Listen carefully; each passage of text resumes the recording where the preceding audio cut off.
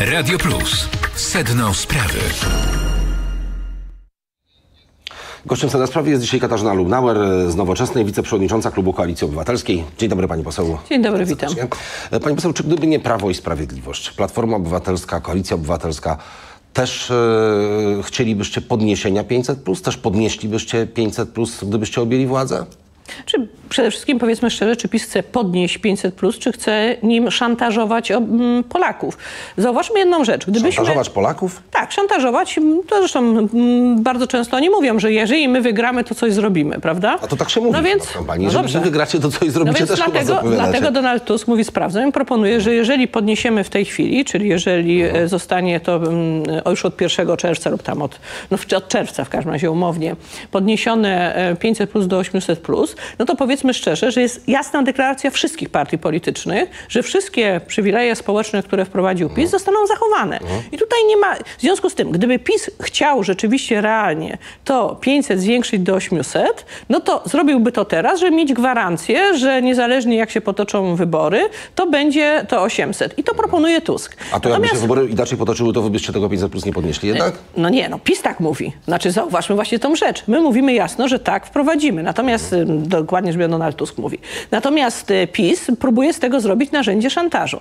Natomiast zauważmy jeszcze jedną rzecz. Dzisiaj właśnie przed chwilą czytałam w Business Insider, jest napisane, że biorąc pod uwagę inflację, którą spowodował PiS, a PiS spowodował inflację, która jest na poziomie tej skumulowanej inflacji już ponad 50%, a ponieważ w przyszłym roku zapowiadane jest to, że ta inflacja w Polsce będzie prawdopodobnie najwyższa w Unii Europejskiej, wyższa nawet y, niż y, na Węgrzech, co jest zaskakujące, to y, powinno to, ta waloryzacja na koniec przyszłego roku być już 850, a nie 800, a na koniec 26 już tam oni piszą o kurę około 900 zł. W związku z tym Powiedzmy jasno, PiS ma bardzo dużo dodatkowych pieniędzy wynikających z bardzo wysokiej inflacji. Czyli to, że tak rośnie szybko PKB, to, że spada dług w stosunku do PKB, to, że jest więcej dochodów państwa, to wszystko jest związane z tym, że mamy bardzo wysoką inflację. Ta inflacja odbija się każdego dnia na życiu Polaków. Jasne, no o tym wszystkim wiemy Pani Poseł, ale pytanie tym- było proste. Czy wy też mieliście plan podniesienia 500 plus? Nie wiem, jaki plan miał Donald Tusk. Aha. Natomiast to tylko Donald Tusk, natomiast, a nie ma y, y, Koalicja Obywatelska, Pani jest mówiliśmy- wiceprzewodniczącą wie pani Koalicji? Obywatelskiej. Pytam po jestem prostu, czy- wiceprzewodniczącą czy klubu O konkretnie. takich planach była mowa.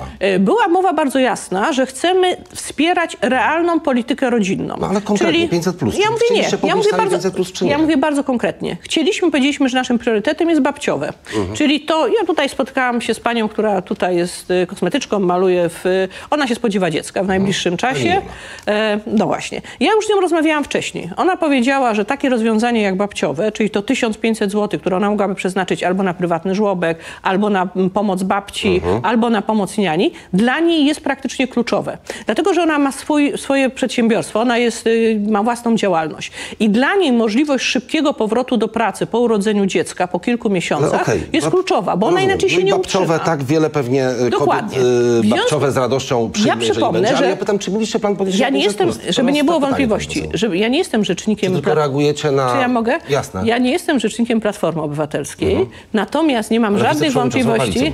Tak, ale nie mam, ale nie chodzi mi o to sprzed lat, ale nie mam żadnych wątpliwości, że wtedy, kiedy jeszcze PiSu, można powiedzieć, nie było jako partii rządzącej, wtedy, kiedy decydowała Platforma z PSL-em, wprowadzono rozwiązania, które też miały być rzeczywiście realnie prodzietne. Co mam na myśli? Bo bardzo często teraz, nie wiem, czy pan zauważył, pani Maląg i inni mówią, że nie było pro- ja polityki rodzinnej. innego pytam, pani nie. przewodnicząca o czym innym To jest, mówi. ale to jest Ja kluczowe. pytam po prostu, czy wasza deklaracja kluczowe. podniesienia 800 Ale plus panie- to szybciej niż chce panie PiS, redaktorze, i to jest tylko to jest reakcją kluczowe. na e, ich e, zapowiedź, czy sami też Ale to tego jest chcieliście? kluczowe.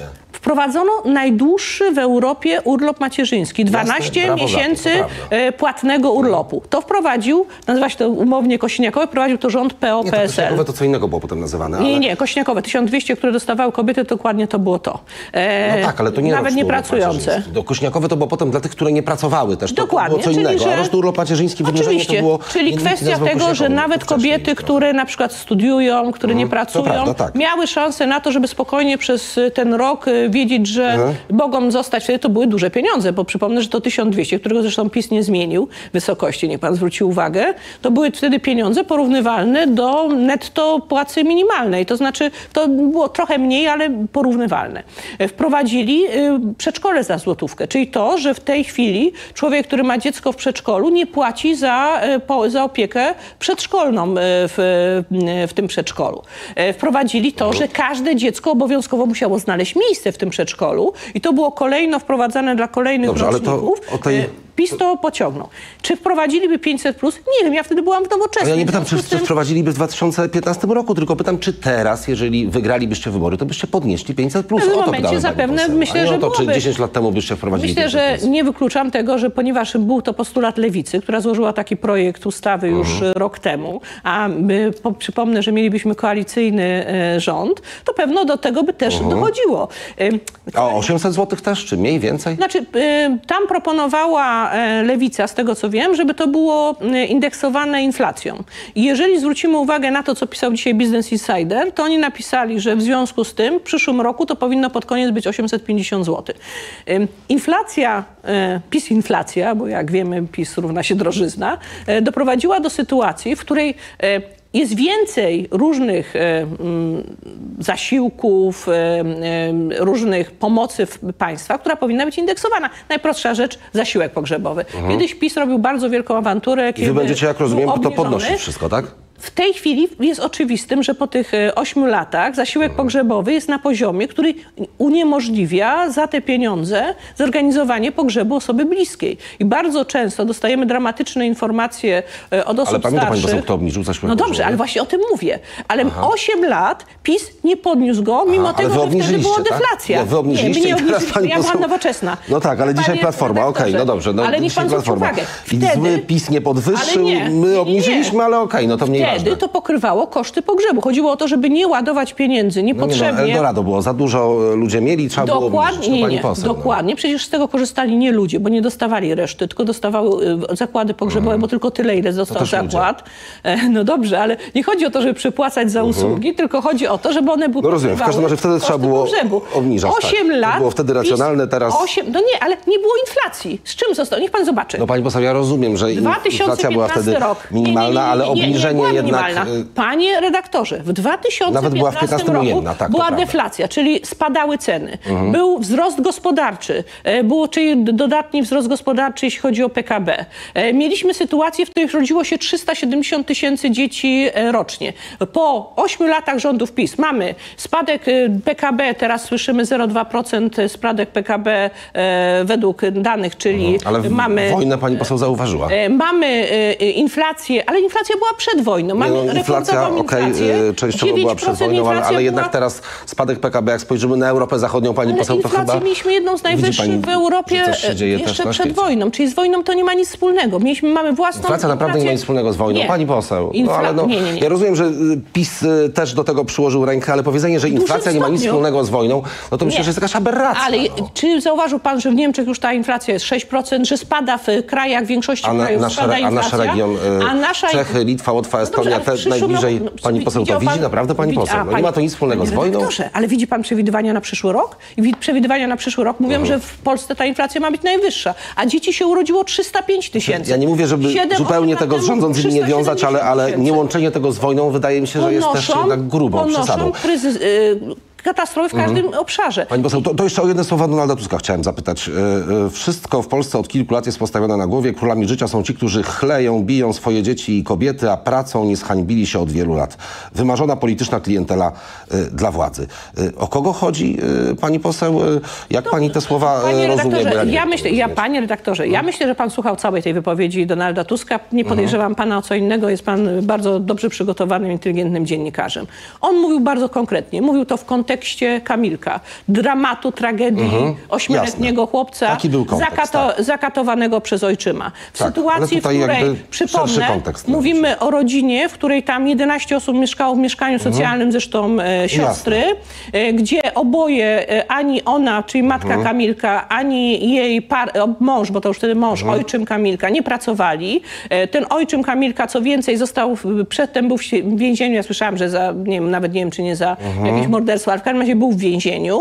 E, mówimy o sytuacji, w której e, dziecko zostało ośmioletnie No tak, zakatowane. co ma to do, do tego królami życia zapisu są ci, To- którzy kleją, biją swoje dzieci, na czym polega to, to, to, no, to są ci królowie życia, tak? tak, chodziło o to, że państwo w większym stopniu powinno stawiać na ludzi, którzy chcą pracować. No to co, na zmienicie panią w takim razie, od was tutaj, m, która jest kosmetyczką, która chce wrócić jak najszybciej do pracy. Jasne, ale to co No się zmieni, komu zabierzecie Ale bardzo razie? jasno mówimy, chcemy, żeby było babciowe. Babciowe, nie wiem, czy pan wie, właściwie Nie, ale się pytam nie kto zyska, samofinansuje. kto straci, bo jeżeli Nie. bardziej stawiać na Nie. tych, którzy pracują, pan to zobaczy rozumiem, że... bardzo jasną rzecz. Czyli będą królami życia nadal, tak? 90%, 90% społeczeństwa pracuje. 90% albo pracowało, bo jest na emeryturze, albo pracuje, albo chce pracować, tylko nie może ze względu na to, że jest na przykład z niepełnosprawnością.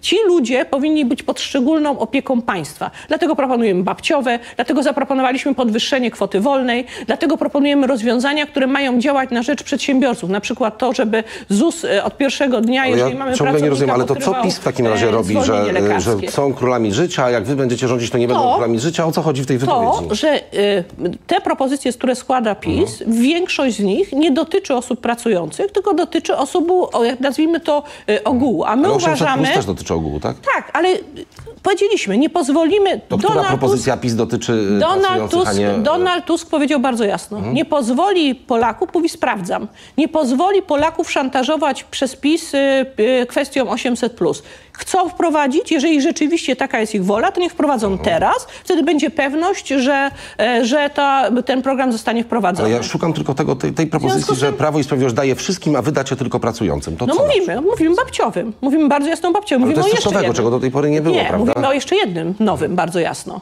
O podwyżkach dla sfery budżetowej.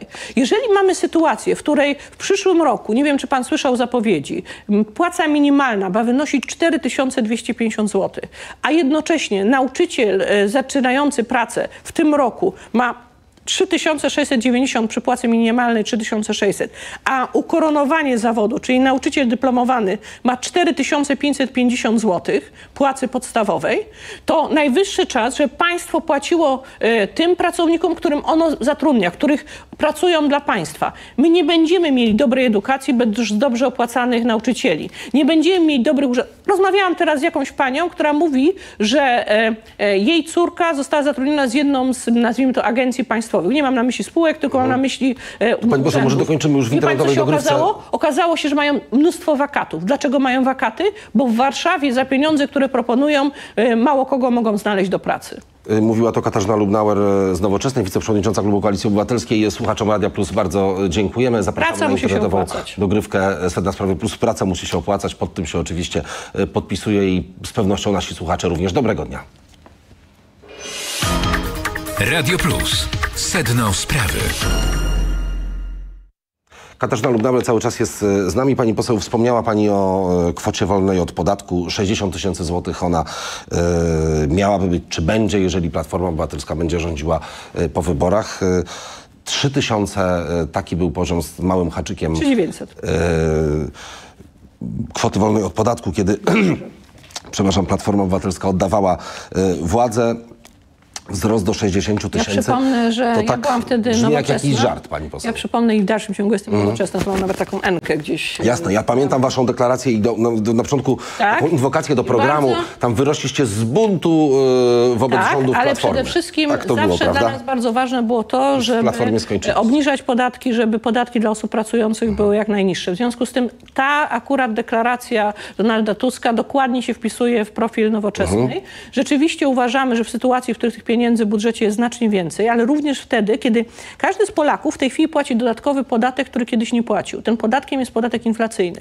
Czyli Mhm. e, jeżeli pan kupuje dowolny produkt i on jest coraz droższy, to ponieważ sobie płacimy VAT... to już od razu Dokładnie. W związku z tym, jasne. po pierwsze, to nie jest prawdą, że ktokolwiek z Polaków nie jest e, podatnikiem. Nawet ten, który tylko idzie kupić e, do sklepu bułkę, to płaci podatek w tym znaczeniu, że Akurat płaci... bułką bułka to- akurat to jest na zerowym... przykład, jest tak, zerowy ale no, na każdy inny produkt, ubranie, ubranka dziecięce, które miały być zerowym VAT-em, a są normalnie 23%, mimo tego, że w Unii Europejskiej jest normalnie limit, może być 5% bez problemu. Nie trzeba nawet Unii pytać, e, obniżyć. E, PiS obiecywał, nie wiem czy pan pamięta, żeby ubranka były 0% VAT-em, a są normalnie pełnym VAT-em 23%. Chyba w kampanii prezydenta Andrzeja Dudy jeszcze kojarzę. No właśnie, no cały czas jedna z tych e, obietnic, których nie zrealizował. Ale e, jeżeli chodzi o tę kwotę tym- wolną, to, to jak To jest- PiS podwyższał kwotę wolną, mówiliście, czy obniżał PIT, mówiliście o samorządach, tak? Że to Nie, jest no więc, dramatyczne ale nie wiem, czy pan widział nasze programy. teraz? Bardzo jasno mówiliśmy, że po prostu samorządy powinny uczestniczyć w większej części PIT-u. Nawet, że powinien mieć cały PIT. W związku z tym, bo w tej chwili samorządy mają, nie wiem, czy pan wie, 50% udziału w PIT-ie. To jest ten sposób, że to się Mhm. No to dzieje przy tej między kwocie wolnej jak to będzie wyglądało? My proponowaliśmy, żeby 100% PIT-u było w samorządach, czyli żeby PIT był tym, y, y, tym podatkiem, który w pełni trafia do samorządów, Mhm. żeby one miały większą pulę do dyspozycji i żeby nie były zależne, Okej. żeby samorządność polegała Centralny na tym... budżet 20 parę miliardów y, 800 plus, a minus ile z tytułu PIT-u? E, Około 30, tam była mowa o 30 paru, tam tak jak rozmawiałam. 50 parę miliardów Ale- różnicy w budżecie Panie- centralnym, tak ale- na stryknięcie palcem, pani poseł? Mówi pan o pstryknięciu palcem. E, mamy, mamy w tej chwili kryzys zbożowy. Do tego kryzysu zbożowego można było nie dopuścić, dlatego że... To prawda. 10 miliardów rząd na to Dokładnie. Donald Tusk mm, 20... Ostrzegał, rok e, temu pełna zgoda. 9, 9 miesięcy temu, w czerwcu, nie wiem, ile, 10 miesięcy temu już nawet, e, w, czerwcu 2022, 11. a nawet 11, tak. Próbowałam sobie przypomnieć, co my w tej chwili mamy, maj mamy. E, To 11 miesięcy temu, w czerwcu 2022 roku ostrzegał. Wtedy jeszcze można było wprowadzić właściwie te rozwiązania, które Ale są w tej tak, chwili. jasne. I rząd za to płaci bardzo wysoką cenę. My płacimy wszyscy bardzo wysoką cenę, bo to z budżetowych my- pieniędzy 10 miliardów złotych. Tak. Dokładnie i nagle się Ale- okazuje, że my musimy zapłacić za to z pieniędzy publicznych 10 miliardów złotych. Kolejna Ale ja pytałem kwestia. o wasze 50 miliardów. Od- no to co ale- rok, pani poseł. pani- To nie jest tak, że to jest jeden Tak, strzał, prawda? ale Tylko co rok 50 przyszłego miliardów. roku prawdopodobnie budżet państwa będzie wyższy znowu około 10%, bo taką mniej więcej mamy inflację, 10-15%. Mhm. Dlatego, że średnioroczna inflacja za ten rok to jest około 14%. Na przyszły rok widziałam ponad 11 zapowiadane przez Komisję Europejską przewidywania dla Polski, jeśli chodzi e, o inflację. W związku z tym przyszły e, rok będzie miał wyższe o kilkadziesiąt miliardów złotych e, dochody wynikające z podatku inflacyjnego. I to powiedzmy jasno. Ale jest jeszcze jeden taki element. Wszystkim Polakom żyje się w tej chwili dużo gorzej poprzez politykę rządu. Pan, my rozmawialiśmy o tej inflacji. Wszystkim żyje się gorzej niż kiedy? Niż wtedy, kiedy inflacji nie było. E, Realna, Gorzej żyje się niż zarządów Platformy? e, No wie pan, wszyscy, no, proszę pana. Nie, no takie A prostą pytanie. rzecz, prosta rzecz. E, Nie wiem, czy, nie wiem, czy przypomnę sobie liczbę, ponieważ nie chcę, nie chcę skłamać, ale od 50 kilku do 69% średniej, średniego dochodu na, na, na głowę, W w znaczeniu siły, siły nabywczej na osobę wzrosła nasza w, w stosunku do średniej europejskiej. Czyli jeżeli kiedyś mieliśmy za czasów, kiedy zaczynała e, Platforma Obywatelska rządzić, to było chyba 56, to jak skończyli, to było 69%. W sensie szybciej goniliśmy. Europę, okej. Szybciej goniliśmy Tak. Europę niż obecnie. A, a takie proste Obecnie pytanie, bo pani poseł mówi, że żyje się gorzej. 69 tam do Takie 72. banalne pytanie, czy żyje się gorzej Polakom teraz niż w 2015 roku? ale żyło się również lepiej w 2015 niż się żyło w 2007. O tym opowiadam dokładnie. Okej. Że e, Że jesteśmy. Mhm. krajem, który goni po prostu Europę i szybciej gonił tą Europę i lepiej nam się, że tak powiem, ten, ten postęp był szybszy za czasów Platformy Obywatelskiej niż jest za czasów PiSu. A jeżeli chodzi o Europę, Mówimy to o strefa euro. Jesteśmy, pani poseł? E, Jesteście za wyjściem Za moment, euro? tylko jeszcze najpierw wrócę do tamtego tematu. Mówi pan o pieniądzach. My od dwóch lat nie mamy 160 miliardów, które powinniśmy mieć w ramach KPO. W pierwszym roku to miały być zaliczki, które miały być około 20 paru miliardów złotych. W pierwszym roku już powinno być 20 parę miliardów złotych. Od dwóch lat nawet nie na realizowanie tych programów, które realizujemy w ramach KPO, tylko powinniśmy na początku dostać z możliwością bardzo szerokiego wydatkowania tych pieniędzy. E, 500 miliardów z budżetu europejskiego. Nie wiadomo, czy dostaniemy najbliższe fundusze spójności, ponieważ one już są powiązane z praworządnością, na którą zresztą zgodził No tak. się e, Morawiecki. To jest w sumie to Mechanizm 770 miliardów złotych, o które gramy w tych wyborach. Jeżeli wygra opozycja, to te pieniądze na pewno trafią do Polski z bardzo prostego powodu, że my nie potrzebujemy bezkarności dla swoich. I to jest y, bardzo jasna rzecz, którą potrzebuje PiS, a której której nie potrzebujemy Teraz my. jeszcze jasne Teraz deklaracje zadał pan e, w sprawie euro. E, My potrzebujemy przede wszystkim wejść na drogę naprawy finansów publicznych. Ale Nowoczesna chwili- w programie pisze, opowiadamy się za jak Tak. najszybszym wejściem Polski do ale strefy euro. Czy nie pani ma, poseł opowiada się nie za jak ma- najszybszym nie wejściem ma do strefy możliwości wejścia do sfery, strefy euro przez najbliższe kilka lat z tego prostego powodu, że musimy najpierw uzdrowić finanse publiczne. Mhm. Ale pani poseł, czy powinniśmy Trzeba wejść najszybciej jawność- jak to możliwe do strefy Ale nie ma tej możliwości. Czy ja bym chciała, czy ja bym nie, ale chciała. pytanie, czy najszybciej jak to No dobrze, możliwe ale wie powinniśmy pan, ile wejść? to jest najszybciej? No to, Ale wie pan, ile to jest najszybciej? Kilka lat co najmniej. Dlaczego? No, ale to jest, no chodzi Dlatego, o to, że- albo y, jesteśmy na tej drodze, albo nie, albo chcemy Panie to robić, albo nie. My Pytam chcemy o na pewno intencje. jako wiem, to nowoczesna, jest- bo zawsze za tym byli, uzdrowić... powiedzieć, że się jest za nie. strefą euro, Ale ja, nie? ja, tego nie ukrywam, że jestem Okej. za tym, że ze względu na bezpieczeństwo, ze względu na to, że wtedy nikt nas nie wyprowadzi z Unii Europejskiej, euro, tak. ale najpierw musimy uzdrowić finanse publiczne, bo e, deficyt budżetowy... Nie, no inaczej nie wejdziemy, bo, no to przecież są e, i stabilność tak to- złotówki, dokładnie. My w 2015 spełnialiśmy warunki, kryteria konwergencji we wszystkich sprawach, za wyjątkiem jednej, której nie badaliśmy, czyli Mhm. tego kanału kursowego, bo tam musi być wahanie złotówki. W tej chwili nie spełniamy prawie wszystkich, jeden spełniamy. tych tylko pani poseł, w takim razie, W yy, związku z tym droga do euro, chociażby dlatego jesteśmy jako nowoczesna, że to jest droga uzdrowienia finansów publicznych. I drugi powód, że wejście w przyszłości do euro pokazuje niższą inflację. Nie wiem, czy pan wie, PiS się próbował posługiwać Chorwacją, która bardzo szybko wprowadziła euro i była kwestia. W tej chwili okazało się po krótkim czasie, że inflacja e, w Chorwacji jest niższa po wejściu do strefy euro niż była przed. E, Polacy często tego nie rozumieją, ale my, jeżeli byśmy weszli do strefy euro, to również oznaczałoby wyższe dochody. To Czyli jest zwycięstwo, tak, pani poseł, waszego obozu, politycznego oznacza- Nie. Nie, To już powiedzmy nie jasne. My, Nowoczesna zawsze była zwolennikiem wejścia do euro. Ja nie deklaruję w imieniu ani Platformy, ani Lewicy, ani e, Hołowni, Mhm. Nowoczesna ani PSL-u. E, I Nowoczesna jest przede wszystkim Takich dlatego, ważnych kwestii nie uzgadniacie, uważamy- pani poseł? E, My jesteśmy zwolennikiem jednego. Na pewno obecności Polski w Unii Europejskiej. Związanie się euro to jest związanie się na zawsze z Unią Europejską, a ja uważam, że interes bezpieczeństwa Polski to jest interes Polski w Unii Europejskiej. I jeżeli ja słyszę, że suwerenna Polska, która niewykluczona, że jednak, że w ramach Zjednoczonej Prawicy będzie startować razem z PiSem do Sejmu, mówi wprost, obrzydza Unię Europejską, kwestionuje naszą obecność w Unii Europejskiej, zmienia nazwę na suwerenna, żeby wyraźnie zadeklarować, że uważa, że Polska powinna się zastanowić No, nad też- interesem też są. bycia w Unii Europejskiej. Wiem, chodzi o finanse, Mhm. o to, że mogą nie dostać pieniędzy, bo y, mają problem z finansami partii. To ja uważam, że bardzo ważne jest zaznaczenie, że Polska powinna na stałe być w Unii Europejskiej, bo to jest interes nasz, naszych dzieci, naszych wnuków. Mhm. I strefa euro to byłoby to związanie na stałe, tak? I dokładnie. Strefa euro byłaby takim bezpieczeństwem, że dużo trudniej wyjść z e, strefy Mhm. euro niż wyjść tak jak Brexit był. Wielka Brytania teraz bardzo żałuje wyjścia z Unii, Europe- z Unii Europejskiej. No nawet widziałem Jeżeli- Nigela Farage'a jakąś wypowiedź. e, No właśnie, jeżeli pan spyta wszystkich tych, był, którzy czyli no nie architekt powiedzmy, ale ten, który tam odpalił ląd. doprowadził, dokładnie. Człowiek, który doprowadził do wyjścia z e, Wielkiej Brytanii z Unii Europejskiej, Farage, który kłamał, który sam się przyznał do kłamstwa e, w tej kwestii, bo mówił o tych środkach na zdrowie. E, W tej chwili żałuje tego, że Unia Europejska... Że Ale chyba Brytyjczycy tam sondaże różne są, jeżeli dobrze Nie. pamiętam. Ra, raczej są za, za obecnością sondażach ale nie jest to jakiś, jakaś taka miażdżąca przewaga Oni mogą pani poseł. zapłacić jeszcze w jeden pamiętam. sposób.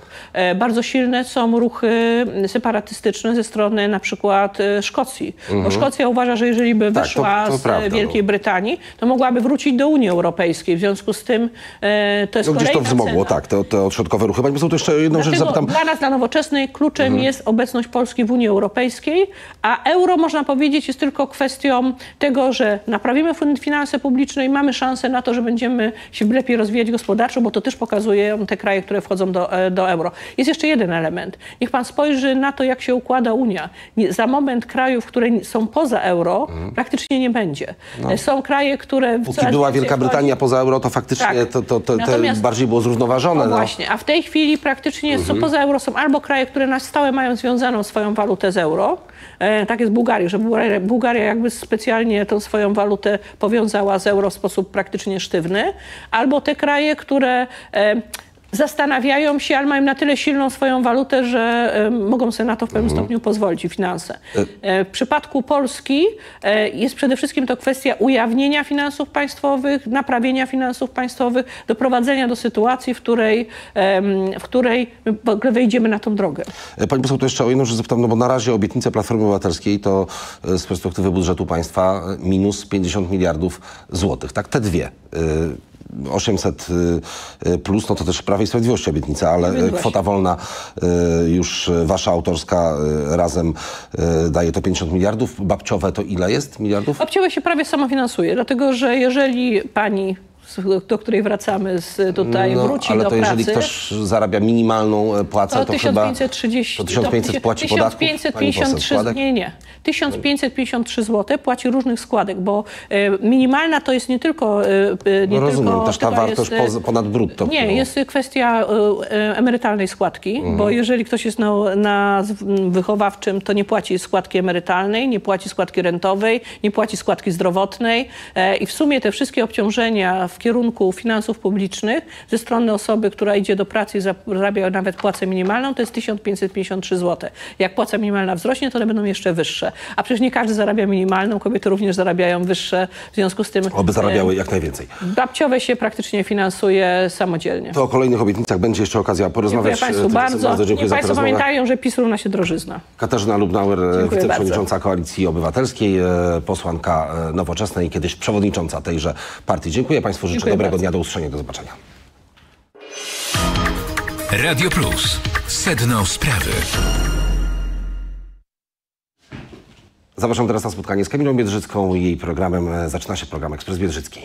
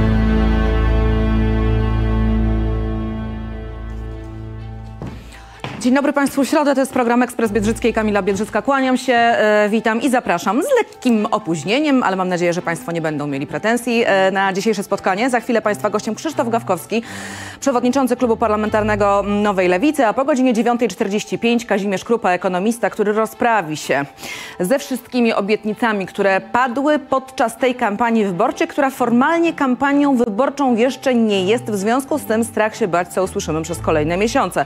Oczywiście bać się z perspektywy polskiego budżetu i polskich finansów publicznych. Ale zaczynamy oczywiście od aktualności i od tego, że Najwyższa Izba Kontroli wchodzi do Ministerstwa Obrony Narodowej w związku ze sprawą rosyjskiej rakiety, która spadła na terytorium Polski w grudniu ubiegłego roku i o której to cały rząd dowiedział się pod koniec kwietnia, przynajmniej zgodnie z deklaracjami. E, Kontrolerów interesuje w związku z tym przede wszystkim kwestia procedur wdrożonych lub też niewdrożonych w ramach reakcji na ten incydent, albo chyba warto jednak powiedzieć dobitniej na ten skandal, Mm, a także e, komunikacja e, między szefem resortu Mariuszem Błaszczakiem, a najważniejszymi polskimi generałami. Mm, I e, w sprawie rakiety jeszcze druga informacja, bo mamy bardzo... Hmm, smutny właściwie e, komentarz. Nie jestem w stanie tego wyjaśnić. Tak w rozmowie z WP o właśnie mm, rakiecie e, znalezionej pod Bydgoszczą mówi były szef NATO Anders Fogh Rasmussen. E, Polska nie jest jednak sama, dodaje. Warszawa jest bezpieczna, obowiązuje akt piąty Paktu Północnoatlantyckiego, a Władimir Putin nie odważy się was zaatakować. Tak dodaje były sekretarz generalny NATO. I na koniec e, przypomnę Państwu, 700 plus będzie proinflacyjne. Tak ostrzegali jeszcze niedawno politycy Prawa i Sprawiedliwości. A co mówi premier Morawiecki o 800?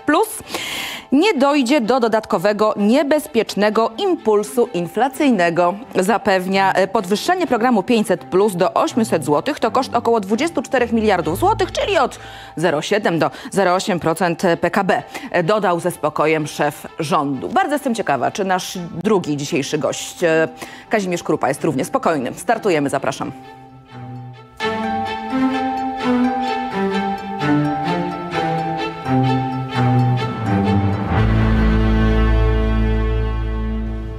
I w kontekście pieniędzy jeszcze e, opowiem Państwu m, także o poziomie języka polskiej polityki, ponieważ nastąpiło takie spięcie e, między Cezarym Tomczykiem z Platformy Obywatelskiej, a byłą premier Beatą Szydło właśnie e, w kontekście pieniędzy i obietnic, które Prawo i Sprawiedliwość składa nie tylko w kontekście 800+, ale także autostrad czy darmowych leków dla seniorów i mm, dzieci oraz młodzieży do 18 e, roku życia. Mm, I okazuje się, że mm, Bartosz Arłukowicz także włączył się w to wszystko, e, udostępnił wpis Cezarego e, Tomczyka mm, i brzmi on tak. Popracujmy na faktach. 1,83 miliarda koszt waszych darmowych leków. Populacja 65 plus to jest 7,6 miliona. Dzieci do 18 lat 6,7 miliona. Razem ponad 14 milionów e, osób, e, co daje e, według wyliczeń Platformy 152,5 miliona na miesiąc. Na miesiąc, drodzy Państwo.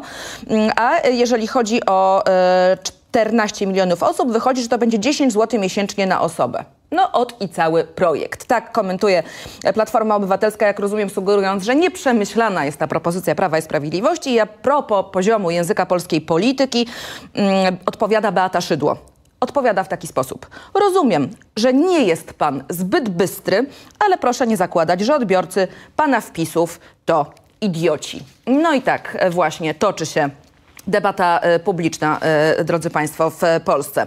O 800 plus będziemy dzisiaj mówić bardzo dużo i z Krzysztofem Gawkowskim w kontekście prowadzenia kampanii, a także innych e, obietnic wyborczych, także lewicy. Mm, No i oczywiście z Kazimierzem Krupą już prze- przeze mnie dziś zapowiadanym. Jak Państwo już słyszeli, premier Mateusz Morawiecki nie widzi najmniejszego problemu. Mm, Problemu nie widzą także przedstawiciele władz, jeżeli chodzi o inflację, dlatego że twierdzą, że ona spada sukcesywnie, natomiast tłumaczą, dlaczego nie chcą zgodzić się na propozycję Donalda Tuska, czyli wprowadzenia tej rewaloryzacji 500 plus od 1 czerwca, otóż z powodu inflacji czego Państwo nie rozumieją. 800 zł nie będzie kwestią e, proinflacyjną, ale nie można wprowadzić jej od czerwca ze względu na inflację. Dokładnie tak brzmi mm, tłumaczenie Prawa i Sprawiedliwości. Bodajże pan minister Buda e, mówił e, o tym, że no, inflacja oczywiście spada, ale jeszcze nie w takim tempie, które pozwalałoby na wprowadzenie e, 800 plus od czerwca e, właśnie. Wydaje się więc, że to sprawdzam. Donalda Tuska z jego perspektywy było bardzo e, dobrym posunięciem, bo faktycznie Prawo i Sprawiedliwość ma teraz twardy orzech do zgryzienia, ale porozumienia tu chyba nie będzie. Dziś tylko przypomnę, ma e, Platforma Obywatelska składać projekt ustawy w tej sprawie do laski marszałkowskiej. Przypomnę, że marszałkinią Sejmu jest pani Elżbieta Witek i przypomnę też, że jej zamrażarka sejmowa pęka w szwach. No i przypuszczam, że tam także e, trafi projekt e, Platformy Obywatelskiej w sprawie rewaloryzacji 500 plus od 1 czerwca. Piękną niespodziankę przygotował nam, warszawiakom przede wszystkim, ale także przyjezdnym, rzecz jasna, pan e, prezes Narodowego Banku Polskiego Adam Glapiński, drodzy Państwo, bowiem wczoraj na siedzibie NBP zawisł gigantycznych rozmiarów baner, sugerujący, a właściwie nie sugerujący, tylko informujący, że e, za inflację w Polsce mm, odpowiadają pandemia i rosyjska agresja w Ukrainie. Dokładnie tak to wygląda, mogą sobie Państwo sprawdzić e, w internecie. Jest wielki taki granatowy baner, na nim napisane przyczyny inflacji w Polsce i od myślnika jest e, pandemia i wojna w Ukrainie. Ani słowa e, o polityce finansowej, budżetowej i fiskalnej polskiego państwa. Obciążanie winą za wzrost cen rządu i NBP ma być, to jest kolejne zdanie na tym banerze, narracją Kremla. Czyli ja, e, sugerując, że no być może nie wszystko idzie tak, jak iść powinno, jeżeli chodzi o politykę fiskalną, czy tempo obniżania stóp, e, podwyższania stóp procentowych czas jakiś temu, wpisuje się w narrację Kremla. I drodzy Państwo, zawisł, raz jeszcze powtórzę, na fasadzie NBP przy Placu Powstańców Warszawy gigantycznych rozmiarów baner właśnie z takimi informacjami. Jeśli zadam pytanie retoryczne, kto za to zapłacił, za ten baner, no to pan, pani, no bo przecież nie pan Glapiński ze swojej podwyżki, prawda? E, o tym, że Najwyższa Izba Kontroli e, bada kwestie e, w Ministerstwie Obrony Narodowej e, już Państwu opowiadałam, ale to nie wszystkie mm, aktywności NIK-u, dlatego że okazuje się, że na wniosek Polski 2050 Najwyższa Izba Kontroli przeprowadzi także kontrolę nadzoru organów państwa nad wwozem zboża e, z Ukrainy i bezpieczeństwem żywnościowym. Wiemy, że e, prezes NIK, Marian Banaś, e, uznał właśnie takie argumenty polityków e, Polski 2050 i stwierdził, że zasadnym jest przeprowadzenie szerokiej kontroli systemowej, jeżeli chodzi o działania administracji państwowej właśnie w sprawie kryzysu zbożowego i wwozu zupełnie e, zboża do Polski właśnie. Więc to jest kolejny kamyczek do mm, ogródka. Szerzej, za chwilę o tych wszystkich sprawach porozmawiamy z naszymi gośćmi. Jako pierwszy już za chwilę Państwa Krzysztof Gawkowski. Przypomnę jeszcze raz po 9.45 Kazimierz Krupa, zapraszam. Można powiedzieć, że świetnie, że się wszyscy wypowiedzieli, każdy w inny sposób. Tak właśnie e, wyglądałaby e, ewentualna koalicja rządowa, szanowni państwo, gdyby, mm, e, nie daj Panie Boże, doszło do zmiany władzy. Wszystkie konie ciągnęłyby w innym kierunku, e, doszłoby do chaosu komunikacyjnego i do braku możliwości realizacji konkretnych projektów. Jeden by chciał to, drugi by mówił tamto, trzeci by się z tym wszystkim nie zgadzał. Na szczęście mamy dzisiaj większość rządową, która działa w bardzo konkretny sposób, realizuje prospołeczne projekty i jeżeli taka będzie wola wyborców, to będziemy robili to dalej po kolejnych wyborach. Pani minister? Zawsze są to marne kopie, te propozycje, które są przedstawiane, tego co Prawo i Sprawiedliwość już zaproponowało. Bo Donald Tusk dzisiaj się odnosi, że od 1 czerwca, no szkoda tylko, że 8, 8 lat rządów Platformy Obywatelskiej i PSL-u nie była prowadzona polityka prorodzinna. My to rozpoczęliśmy historycznym programem, pokazując zmianę filozofii, że w tych tabelkach, które są związane z budżetem, mamy wydatki inwestycyjne i wydatki bieżące. I my wydatki na rodzinę traktujemy jako wydatki inwestycyjne, bo to jest przyszłość w rozwój naszej Polski.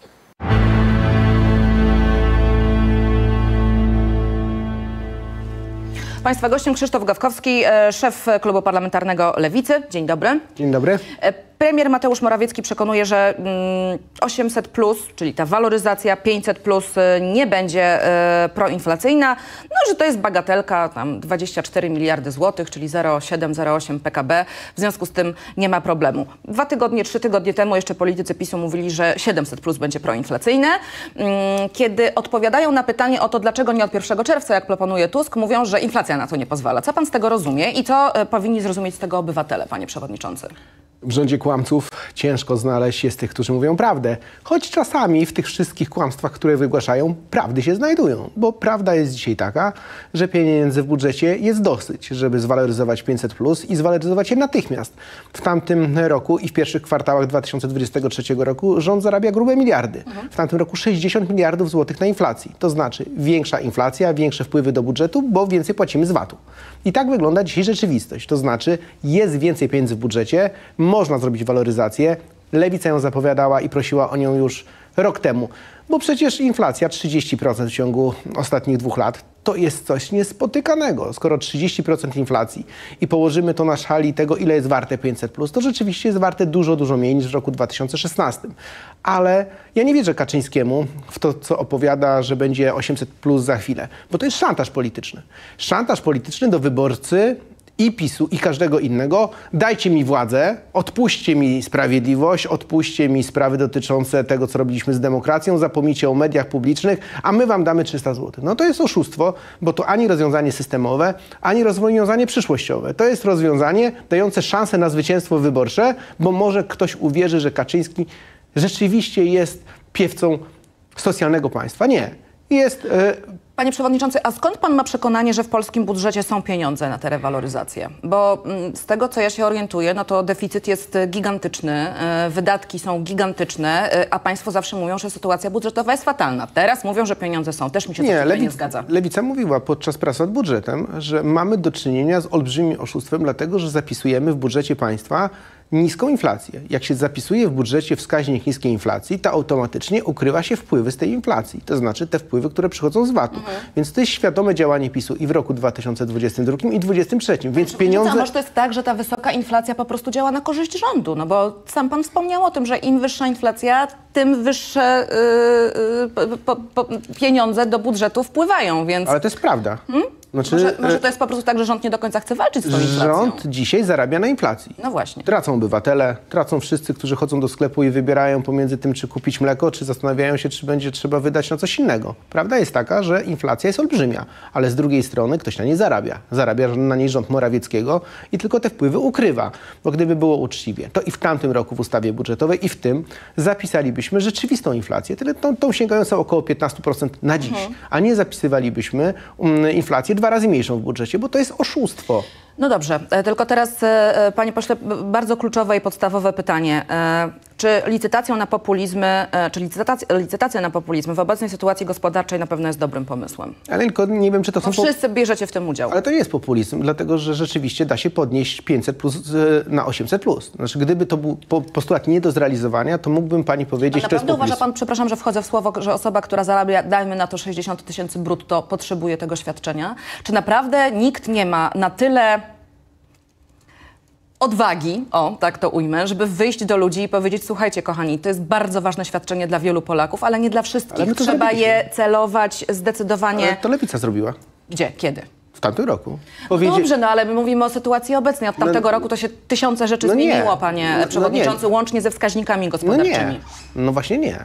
No Jak to nie? No, no tak, to, że... tak. No nie. w No tam- tak, no i PKB się zmieniło, Ale i poziom nie, inflacji się zmienił, i wpływy budżetowe się ale, zmieniły. no, ale nie zmieniła się sytuacja generalnie dotycząca tego, że mamy kłopoty gospodarcze, bo mieliśmy w tamtym roku. Mhm. I nie zmieniła się sytuacja dotycząca oceny tego, kto powinien dostawać 500 No to kto powinien W dostawać tamtym 500 roku plus? lewica, ale chcę zrobić całą ścieżkę, co się wydarzyło, bo ludzie często mówią, dlaczego tego opozycja nie zrobiła. Pani tak powiedziała, to jest nieprawda. Znaczy lewica złożyła projekt ustawy, Mhm. Nie. ale dokończę i powiedziała... Nie, ale pan powiedział mi, że ja powiedziałam, że tego nie zrobiliście. Ja, to jest nieprawda. Ale ja mówię o, nie o, powie nie, tego ja mówię odważnie. teraz, teraz, ja mówię w obecnej sytuacji. Ale wczoraj nie rok temu. Ale Lewica to wczoraj powiedziałem, to z, z kolegą Trelą na konferencji. No Znaczy, dobrze, no. Lewica mówi, że 500 plus powinno być dostępne dla tych, którzy mają zarobki niskie i średnie, Ale to nie jest dla konkret. tych, no jak 20 tysięcy złotych powinno być ograniczeniem. O właśnie, dziękuję. 20 tysięcy złotych brutto powinno być ograniczeniem, Tak, tak? powinno być ograniczeniem. Jak ktoś dostaje 20 tysięcy złotych, to powinno być ograniczenie dla tego 500 plus, dlatego że Ale ograniczenie to znaczy, że nie dostają w ogóle ci, którzy...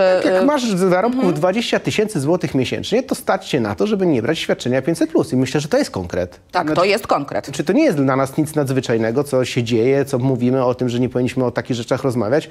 Podkreślam, my mówimy też o rozwiązaniach społeczno-socjalnych, bo pani mówi, że może jest tak, że budżet by tego nie wytrzymał. No budżet nie wytrzymuje tego, że PiS z tego budżetu wyciska różne pieniądze bokiem, na różne fundusze, które wychodzą na 59 pełnomocników, na nowych wiceministrów, na sprawy, które są ograniczające dla samorządów i dlatego są problemy finansowe, a nie dlatego, że tylko świadczenie byśmy ja na stole nowe położyli. takiego nie sugeruję, Ale tylko, ja tylko wie pan, pokazuję jakie są całość. koszty tego programu po prostu. Wiem. I wie pan, że on nie zrealizował em, celów, które przed nim były e, zakładane. Ale To skoro w wszyscy sześć- wiemy, prawda? 60 miliardów złotych, skoro w tamtym roku mieliśmy takiej powiedzmy nadwyżki, która została nadmuchana w ramach oszustwa PiSu, bo nie wpisał inflacji, to program 24 miliardy, bo tyle kosztowałaby ta waloryzacja, Mhm. mieści się w tym, że wcale nie nadmuchujemy budżetu i mówimy, że będzie jakiś wielki dług. Problem polega na tym, że PiS nie chce systemowo tego rozwiązywać. Ja jeszcze raz podkreślam, systemowe rozwiązanie to waloryzacja rent i emerytur, a nie 13 i 14 emerytura. To znaczy co miesiąc dostajesz większą pieniądze, a nie dwa razy w, e, w roku i tylko po to, żeby kupić twój głos. To znaczy, że dajemy podwyżki dla pielęgniarek i na przykład nauczycieli, e, dajemy podwyżki w sferze budżetowej, bo oni dzisiaj najbardziej odczuwają inflację, albo walczymy na przykład z wielkimi ratami kredytowymi, czyli z kredytami hi- hipotecznymi, bo stopy procentowe obciążyły ludzi, bo zamiast 1500 mają 3000 kredytu. To są rozwiązania lewicy, które na stole położyliśmy. Dobrze. Czyli nierosnąca inflacja, bo zwracamy na to uwagę, pakiet Bezpieczna Rodzina, który położyliśmy, to są też e, duże rozwiązania antyinflacyjne. Panie Przewodniczący, czy e, e, dzisiaj Platforma Obywatelska ma składać e, projekt ustawy w sprawie rewaloryzacji 500+, e, która to miałaby obowiązywać już od pierwszego dnia czerwca, czemu jak wiemy sprzeciwia się rząd ze względu na inflację, twierdząc, że e, nie będzie proinflacyjne e, to rozwiązanie. Lot nad kukułczym gniazdem, jeżeli chodzi o logikę wypowiedzi. Natomiast e, mm, czy państwo jako Lewica poprą ten projekt Platformy Obywatelskiej? Podniesiecie Oczywiście, rękę za? po- poprzemy, tylko znowu chciałbym tą bańkę przebić. Nie trzeba dzisiaj ustawy, żeby podnieść 500. To znaczy, ustawa, która jest w polskim e, systemie prawnym w obrocie, wystarczy rozporządzenie premiera. To znaczy, Tylko premier musi tego chcieć, a już wiemy, że PiS tego nie chce. Tak. W związku z tym ustawa jest konieczna. no nie, dlatego że jak nie chce tego premier, to wiadomo, że parlament też tego nie będzie chciał. O, jest pan taki pewny? Tak, Przy oczywiście. obecnej sytuacji Nie. w e, koalicji Tak, e, oczywiście. Zjednoczonej Prawicy? Tak, dlatego że pani marszałek nie zgłosi tej ustawy Zamrozi. Mhm. do porządku. Oczywiście, nic nie będzie. Każdy projekt poprzemy. No to jak Od to roku, świadczyło o intencjach PiSu? Od roku jest projekt lewicy w polskim parlamencie zamrożony, dokładnie tożsamy, pokazujący, że są rozwiązania, że możemy to zrobić, mówiący o tym, jak to powinno wyglądać. Dzisiaj zgłosi Platforma, każdy projekt waloryzacji, który będzie teraz poprzemy. Problem polega na tym, że PiS tego nie zrobi, bo PiS, zagłosuje przeciw. I jak to będzie też- świadczyło o jego intencjach? Powtórzę pytanie. Szantaż. To jest szantaż dla wyborcy. To znaczy, wy, daj mi wygrać wybory, dam ci 300 zł dodatkowo, a nie wiesz opozycji, Platformie, Lewicy, bo oni tego nie zrobią, bo kiedyś tego nie zrobili. To jest szantaż. Jak Zwykły, prosty szantaż. pozostałe propozycje, o których mówił Jarosław Kaczyński? Czyli mam na myśli e, leki darmowe dla seniorów e, i dla młodzieży oraz dzieci. Pytani politycy o szczegóły Prawa i Sprawiedliwości, rzecz jasna, jakie leki, ile leków, dla kogo, y, nie są w stanie odpowiedzieć. Odsyłają do Ministerstwa Zdrowia. Ministerstwo Zdrowia nic w tej sprawie nie mówi. Jeżeli chodzi o autostrady, no to ktoś tam wyliczył wczoraj, że to są akurat dwa odcinki te państwowe. E, To w sumie jest 26 zł, także jako kierowcy bardzo dziękujemy. Niedługo litr paliwa tyle pewnie będzie e, kosztował. E, A nawet pojawiła się sugestia, że prywatni właściciele będą wywłaszczani. Nie wiem, czy pan słyszał. Ja nie wiem, co Więc planuje PiS, pytam ale o kondycję intelektualno-programową partii rządzącej. myślę, że jest przy tempocie blisko. To jest taka... Mocno. Tak, dlatego, że jeżeli ktoś by chciał rzeczywiście zrobić kwerentę tego, co jest w parlamencie, to jest ustawa znowu lewicy z tamtego roku e, złożona, leki za 5 zł dla wszystkich, czyli nie także dla młodych i dla tych, którzy mają 65+. Plus. I mógł mógł wziąć ten projekt i powiedzieć, słuchajcie, Lewica ma świetny projekt, możemy te pieniądze przełożyć, które są w budżecie na leki i nie będzie to lista leków refundowanych, bo to, co robi PiS, to jest takie trochę kłamstwo. Nie, nie powiem, że w pełni, bo rzeczywiście lista leków refundowanych jest. PiS chce, żeby z tej listy korzystali wszystkie osoby 65+, plus, tylko że dzisiaj 75-latek, który korzysta z tej listy, nie dla wszystkich leków ma tą refundację. A to oznacza, że jak obniżymy ten status 75 na 65, to te same osoby wejdą w problem. Pan, że Prawo i Sprawiedliwości po raz kolejny uda się uwieść wyborców tymi propozycjami, czy wyborcy zaczęli być już odporni na tego typu em, zapowiedzi? Myślę, że nareszcie nauczyła się opozycja, jak grać w grę PiSu. Mhm. Znaczy, nikt nie mówi, że nie powinniśmy niczego zwiększyć, tylko każdy przedstawia swoje propozycje. Ja cieszę się z tego, co robi Platforma e, i podoba mi się to, że idziemy ręka w rękę jako Lewica z Platformą, pokazując swoje propozycje, bo to pokazuje, że PiS ma propozycje, ale nie wie jak, nie wie gdzieś tam. A my już tutaj ustawy, proszę bardzo, zróbcie to, my wam będziemy pomagali. I według mnie to najlepsza właśnie rekomendacja, żeby wygrać wybory. Pokazać tak, lepsza zmiana jest możliwa, nikt wam niczego nie zabierze, nikt wam nie będzie socjalnych praw odbierał, ale z drugiej strony uporządkuje system, media odpolityczni, da trochę powietrza w wymiarze sprawiedliwości. pieniądze dodatkowe. Pieniądze z Unii Europejskiej sprowadzi do Polski, więc metoda, którą stosuje Czarzasty, Biedroń, Tusk, Kosiniak, bo też mówili to z Hołownią, to dobra metoda. Dobrze, to teraz panie przewodniczący właśnie a propos tej współpracy, y, bo państwo wysłali, jak rozumiem, propozycję takiego paktu y, sejmowego, Dokument. tak się to nazywa. No roboczo musimy jakoś go Tak, nazwać, no, nie, będę, nie będę używać sformułowania dokument. Paktu sejmowego, no bo jeżeli chodzi Paktu o współpracę... rządzenia nawet, tak się nazywał. Paktu rządzenia nawet. Tak. Niektórzy wam zarzucą, że dzielicie skórę na niedźwiedziu, ale y, oczywiście rozumiem intencje. Mobilizacyjne. Dostaliście szczerze, z ręką na sercu, jakąś konkretną odpowiedź, y, czy od PSL-u, czy od Hołowni, czy od Donalda Tuska i Platformy Obywatelskiej? Tak. I co z niej wynika? To są różne... Coś więcej niż do tej pory. Tak, to są różne odpowiedzi. Rozmawialiśmy z Kosiniakiem Kamyszem w pakiecie z Hołownią o tym, kiedy można by było to podpisać. Jest deklaracja, że jeżeli mamy podpisywać to po, po, po rozpoczęciu kampanii wyborczej, wtedy jak... Tak? Jak będą zarejestrowane komitety, Tak. to jest dla nas dobra odpowiedź. Platforma powiedziała, że ona w ogóle nie widzi, jak wszyscy będą chcieli podpisywać, To to, to wszyscy możemy taki dokument podpisywać. Dzisiaj skupmy się na tym, żebyśmy dojechali do, o, do kampanii wyborczej. Dobra, czekamy. My nikomu nie będziemy tego narzucali. To nie jest jakiś homont, o którym zarzucimy, powiemy, lewica będzie za to umierała. Lewica złożyła propozycję, przygotowała dokument. Tusk, Hołownia, Kosiniak, wszyscy dostali. Mają u siebie na biurkach, o tym były rozmowy i Czazaszty z Tuskiem, i my z Hołownią i z Kosiniakiem. Wszystko jest, toczy się. My, mam nadzieję, i tak to dostrzegam, że na razie nie ma gry takiej jak w przypadku listy, że ktoś kogoś szantażuje. Nikt nikogo szantażuje. Jest dokument, mamy coś w nim zmieniać, możemy coś wykreślić, możemy coś dodać. Najważniejsze, żeby był dokument, który będzie mobilizował Jaka wyborców. jest istota tegoż dokumentu? Ale pyta mnie pani o polityczną, czy istotę dotyczącą przyszłości? Bo to są dwie różne No, to, rzeczy. to, polityka też się łączy z przyszłością, tego się nie To, da to oddzielić. od tej politycznej. Znaczy, to ma być akt mobilizujący wyborców.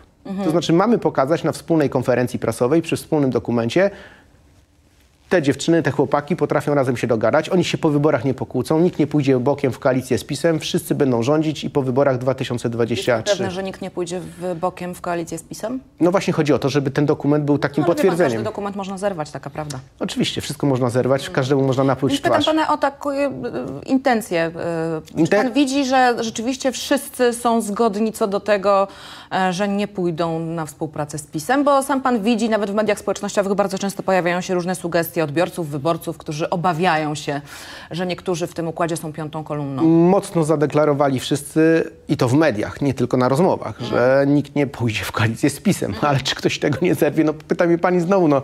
No wiadomo, no nie ma pan szklanej o- o kuli, ale ja, science y, mówię o pan- o Może się zdarzyć wszystko w polityce polskiej. Przypominam sobie, jak miało nigdy nie być koalicji, miała być koalicja Platformy i PiSu, a skończyło się na koalicji PiSu, LPR-u i Samoobrony. I wszyscy Mhm. przypuszczali, że to się nie wydarzy, a się wydarzyło. No, znaczy, polska polityka jest nieprzewidywalna. Ja mogę powiedzieć za lewicę. Lewica nigdy z PiSem w koalicję nie pójdzie. Dobrze, to teraz e, o Mariuszu Błaszczaku słów e, kilka, e, panie przewodniczący. Wiemy, że pan minister Błaszczak nie ma zamiaru podawać się do dymisji, ba, nie ma sobie absolutnie nic do zarzucenia. Mm, Oskarża o zaniechania pana generała Piotrowskiego.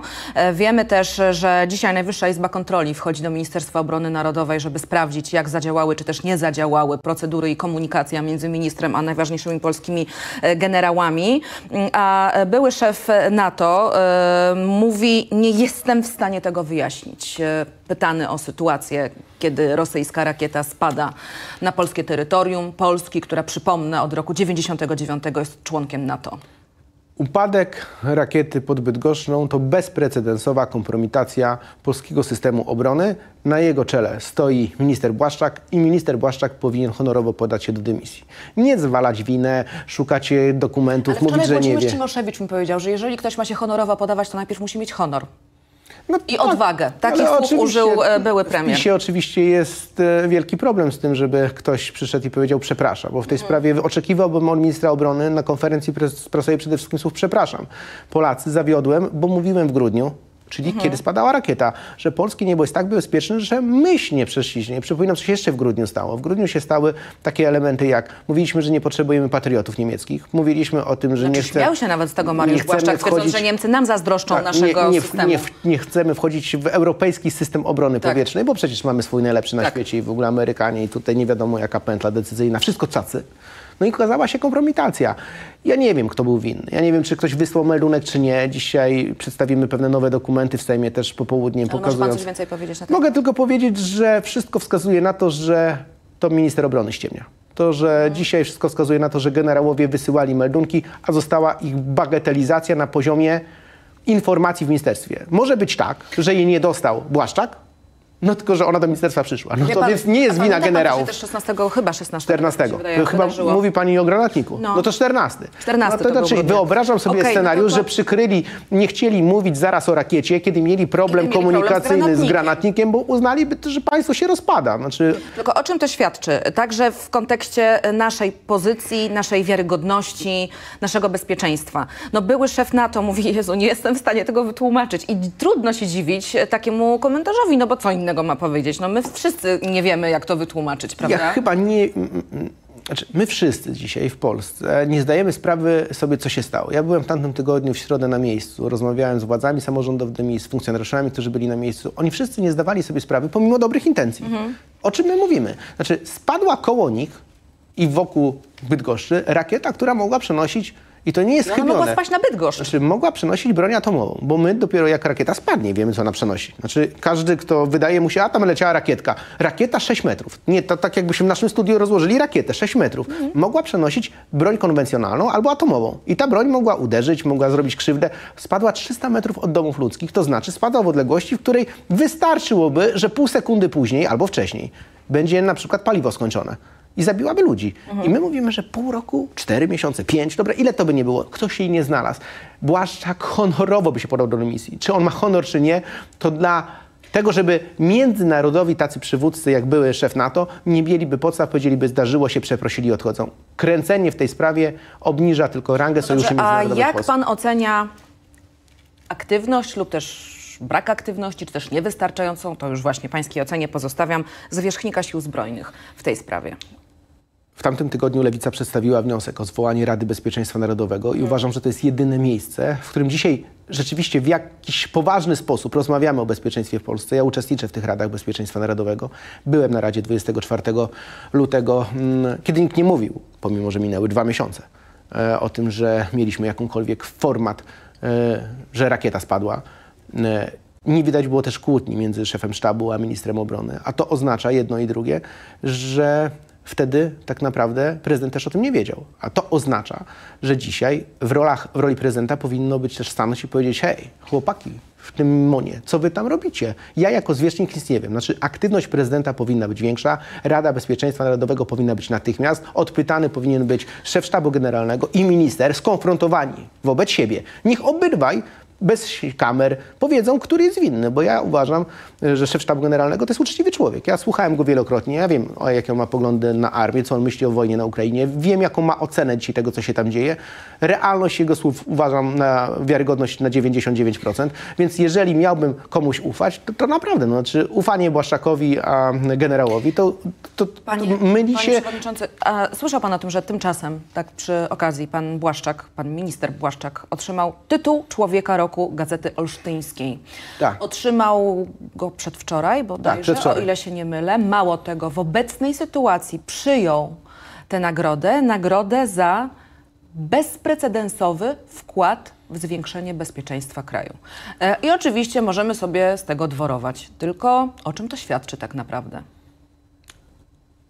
Przyjął taką nagrodę w minister obecnej Błaszczak sytuacji. ma bezprecedensowy udział w kompromitacji polskiej armii i polskiego systemu obrony powietrznej i powinien przyjąć nagrodę, która będzie go ośmieszała, a nie będzie mu dawała poczucie tego, że jest kimś ważnym. Dzisiaj nie znajduję słów na to, co się wydarzyło. Nie wierzę w dymisję, ale trzeba tej dymisji się domagać i cały czas pokazywać, że i Błaszczak, i wszystkie osoby, które stały za tym precedensowym upadkiem rakiety i jego niewykryciem, powinny odejść z armii i z służb cywilnych. No dobrze, panie przewodniczący, to teraz jeszcze e, dwa słowa o tym, co e, w Narodowym Banku Polskim, a właściwie na Narodowym Banku Polskim, na murach, na fasadzie NBP. Widział pan to na własne oczy? Tak, Widziałem. To Widział jest- pan? Czy nie jestem... jest, ja nie przesadzam, bo ja, ja, ja y, też, to, no, to jest gigantyczny baner. Olbrzymi, no taki banery- jak zawsze tam wieszają, tak. No, tylko Ostatnio- że tam zawsze wieszają, bo jest jakaś nowa moneta Lech kolekcjonerska, Kaczyński. na przykład, albo Jan Paweł II, są też inne. To okej, znaczy, to jest e, działalność jakaś tam NBP-u w porządku. Natomiast w tej chwili mamy tam dwa komunikaty. Mm, e, że główne przyczyny inflacji to jest e, Wojna? Wojna i pandemia. Nie ma tam oczywiście słowa, a jeżeli ktokolwiek twierdzi inaczej, To działa dla Kremla. to wpisuje się w narrację Kremla. I za, za nasze pieniądze, jak rozumiem, pieniądze podatników, ktoś finansuje taki baner, wiesza go. em, I teraz znowu, mm, cały internet wczoraj turlał się ze śmiechu. Tylko pytanie, czy to jest śmieszne już w obecnej sytuacji?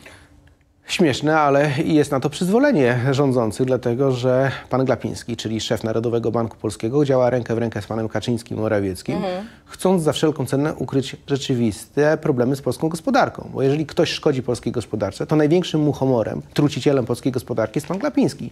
To on ją zatruwał swoimi komunikatami nietrafnymi, mówiąc, że inflacja nie pójdzie w górę. To on opowiadał o płaskowyżach, że będzie szybko spadała. To on opowiadał, że raty kredytów hipotecznych nie wzrosną i namawiał Polaków do tego, żeby brali kredyty, bo przecież będą takie same raty. Znaczy on, będąc profesorem ekonomii, udowadnia, że jest bałwanem ekonomicznym. To jest człowiek, który doprowadził do tego, że w Polsce dzisiaj jest rzeczywiście olbrzymi kryzys gospodarczy, drożyzna i problemy. I dzisiaj te komunikaty stają w sprzeczności, które on wygłasza, które pokazuje, które tam no, napisane zostały na tym banerze, z normalnym, normalną oceną tego, co się stało. Ja tylko przypomnę. Mowa o put inflacji, czyli o tym, że ona jest tylko tym spowodowana, to w 2022 roku, na miesiąc przed, Już jaka była inflacja? była inflacja sięgająca dwucyfrowego wyniku prawie. No właśnie, tutaj jeden z naszych e, widzów komentuje, że Narodowy Bank Polski e, robi już kampanię wyborczą Prawa i Sprawiedliwości. Racja. Tak samo pan to czyta? W 100%. To znaczy, to jest obrona e, sytuacji nie do obrony. Tak daleko zabrnęli w kłamstwach inflacyjnych, że dzisiaj muszą brnąć dalej, bo jak nie będą brnęli, to znaczy, że można śmiało powiedzieć, że Prawo i Sprawiedliwość to partia, która najgorzej w historii wolnej pan- Polski zarządzała gospodarką. Panie Przewodniczący, ale nie wiem, czy Pan słyszał, e, wczoraj w jednej z telewizji był wywiad ze Zbigniewem Giżyńskim, co prawda e, formalnie e, poza klubem PiSu, no ale głosuje z PiSem, ta współpraca znowu została nawiązana. I on mówi, patrząc w oko kamery, w Polsce nie ma drożyzny. On powiedział, w Polsce nie ma drożyzny, że to jest e, hasło propagandowe. Ludzie PiS- Drożyzna. Ludzie nauczyli się e, w PiSie kłamać bez mrugnięcia oka i myślę, że będą całą kampanię kłamali, będą Polakom nieprawdy wmawiali, bo prawda jest taka, że inflacja jest, będzie i długo z nami zostanie. Żeby wygrać z inflacją trzeba pieniędzy z Unii Europejskiej, PiS ich nie sprowadzi, więc najprostsze to odsunąć odpis od władzy. A świadczenia socjalne przy opozycji też zostaną. Krzysztof Gawkowski, e, przewodniczący Klubu Parlamentarnego Lewicy. Bardzo dziękuję panie przewodniczący Dziękuję bardzo. Ucieka pan już, wiem, dziś bardzo szybko do swoich obowiązków, więc Wszystkiego puszczam. dobrego. Wszystkiego dobrego i u, u państwa e, u nas w studiu za chwilę Kazimierz Krupa, zapraszam. co, coroczne, już takie śmieszne, no bo to zawsze nie miało sensu, że w tym roku święta będą najdroższe. Jedna z telewizji z tego szczególnie robi dużo użytek. Po pierwsze, czy było kiedykolwiek jakieś święto religijne, prawda, mówimy o Bożym Narodzeniu, Wielkanocy, czy było jakieś święto, w którym byłoby tańsze, tańsze niż w zeszłym roku? No inflacja cały czas jest jakaś tam, no wzrost cen znaczy jest jakiś tam. Te 2%, jak mówimy 1, 2,5, 3, to zawsze jest, zawsze był praktycznie chyba.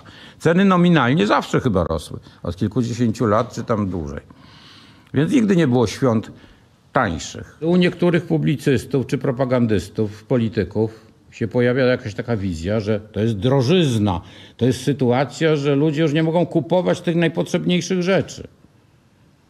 Może jeszcze te, te ziemniaki i suchy chleb, ale właściwie to już prawie nic.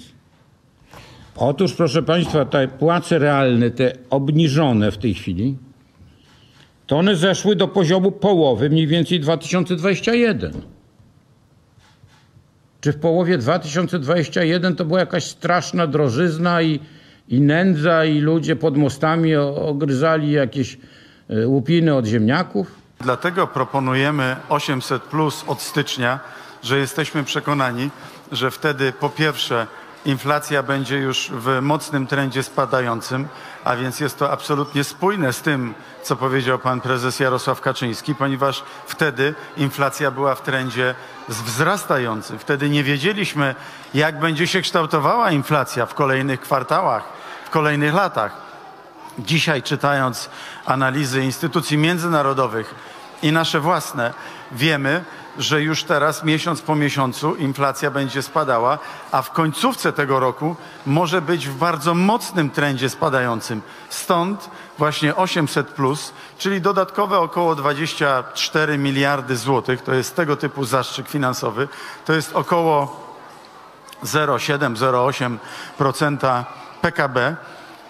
Na pewno nie przełoży się też zresztą w całości na wydatki, bo wiemy że doskonale, że część z tego jest oszczędzane przez Polaków. Polacy chcą dzięki temu więcej zaoszczędzić, że otrzymują różnego rodzaju wsparcie, a więc ekonomiści doskonale wiedzą i potrafią sobie to policzyć, że nie dojdzie tutaj do jakiegoś niebezpiecznego impulsu, dodatkowego impulsu inflacyjnego, który odwróci ten trend inflacyjny.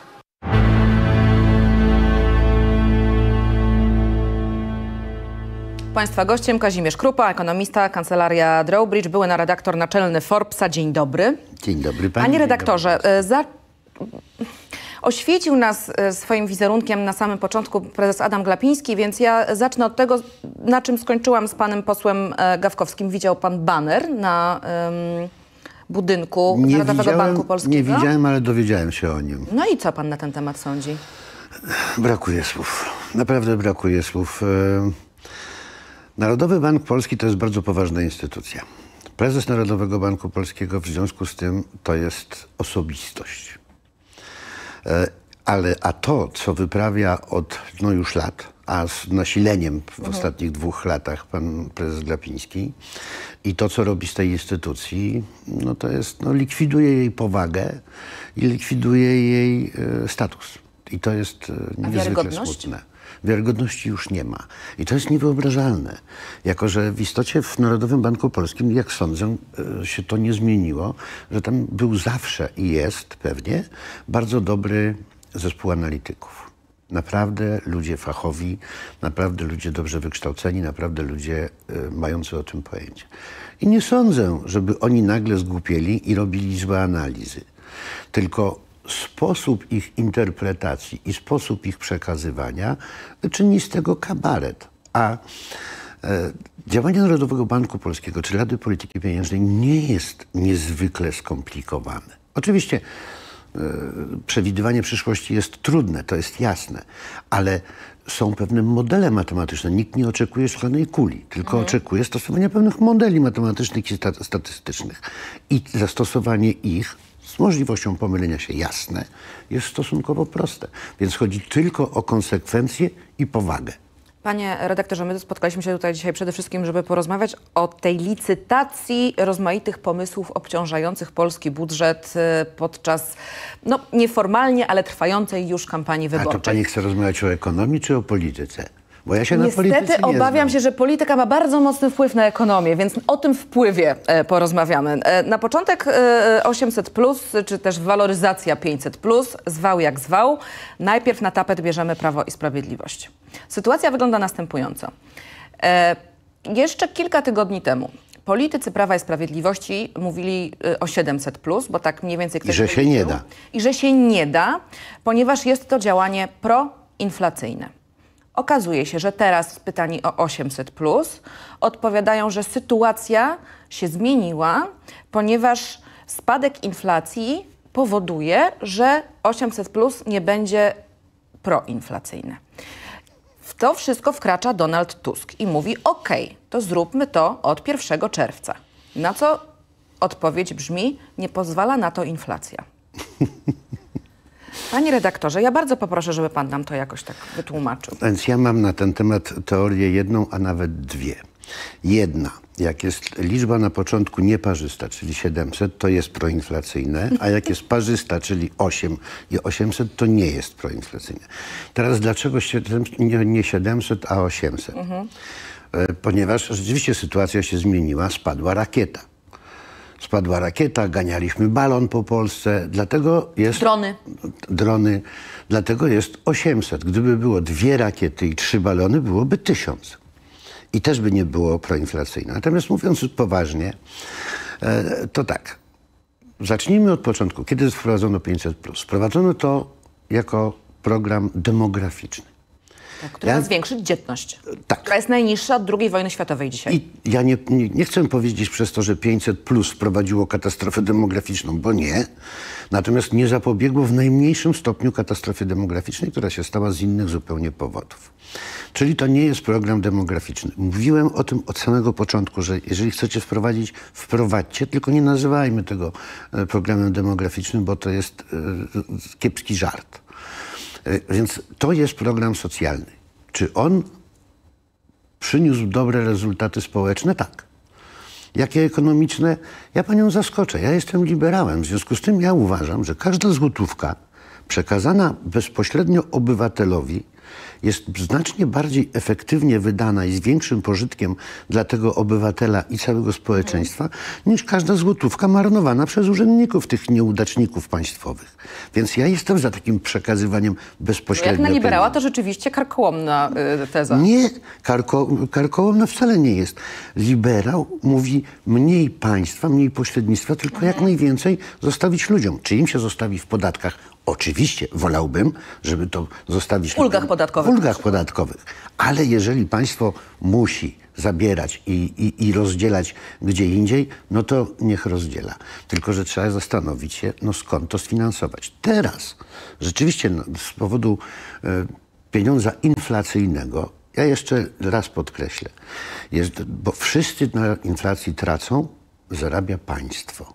Bo jeżeli towar kosztuje 10 zł netto. Plus 2,30 VAT-u, czy 23%, i ten sam towar, czyli nic, ani go nie, nie przepakowujemy nawet, y, kosztuje 20 zł, to państwo nie bierze, plus VAT, to państwo nie bierze 2,30, tylko bierze 4,60.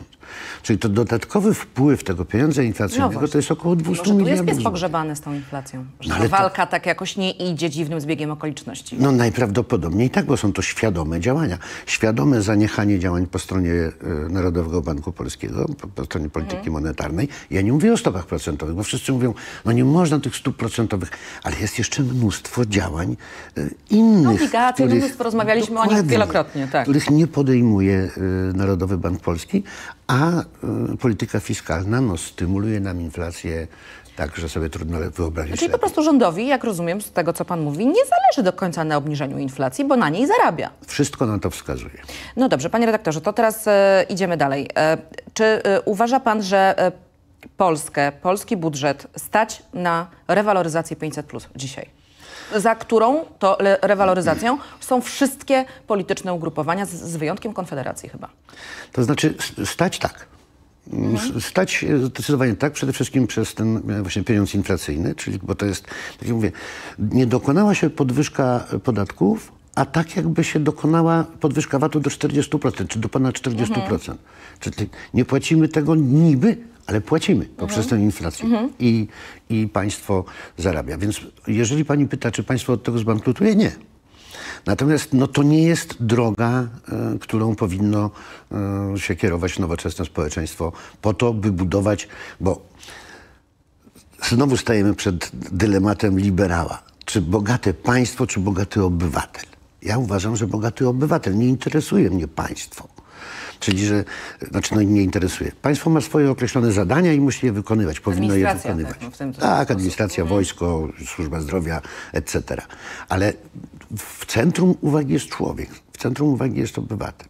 Więc jeżeli z tego punktu pat- no, widzenia patrzymy, Mhm. no to my nie budujemy społeczeństwa e, zamożnego. Mało tego, panie redaktorze, trochę jest tak, że społeczeństwo przywykło już do otworzenia paczki chipsów I tam prezentów na wypatruje. kanapie i mówi i, i, i takiego powiedzenia, kto da więcej. No, no, I ten, kto da więcej, prawdopodobnie wygra wybory. W związku wie z tym... pani, ja jestem nie? większym optymistą. Jestem Myśli większym pan, że e, zaczynamy się no, edukować przychodzi, ekonomicznie? przychodzi refleksja. Ja Myśli, to- naprawdę pan myśli, że przychodzi refleksja? Przychodzi To refleksja. super, to bardzo dobrze. Ja y, może nie sądzę, żebym przeceniał nasze społeczeństwo. Ja, też to, ja też to mówiłem.